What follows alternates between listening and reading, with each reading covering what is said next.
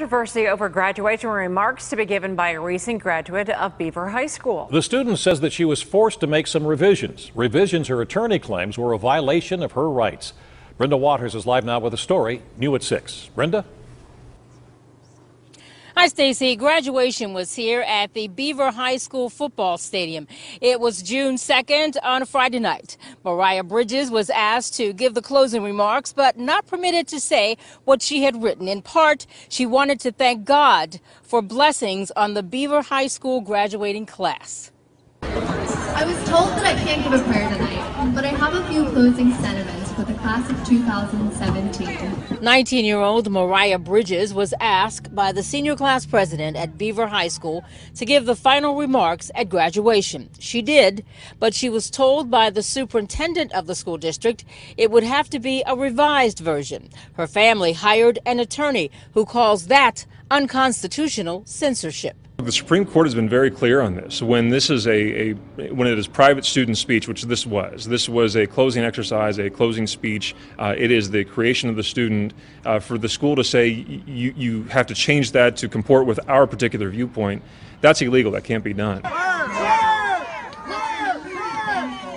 The superintendent of the Beaver Area School District says she was advised by the solicitor of the district that law clearly states prayer is not permitted at graduation, even if it is student led. She goes on to say, quote, Students who speak at graduation, including the valedictorian and class president, know that the district will review their remarks in advance, and the district assumes responsibility for the content. In Mariah's case, the district could not approve a speech written as a prayer, but did approve a second version that she submitted.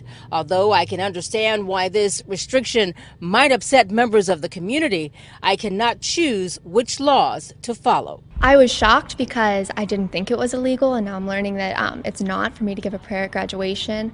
Um, and I was, like I said before, I was hurt that I couldn't share um, what I truly felt for my fellow classmates. Now, Bridges' attorney says that he just wants to sit down with the district to let them know exactly how the law is spelled out. He says he hasn't heard back from them yet, and he says if a lawsuit is deemed, he will look into that as well.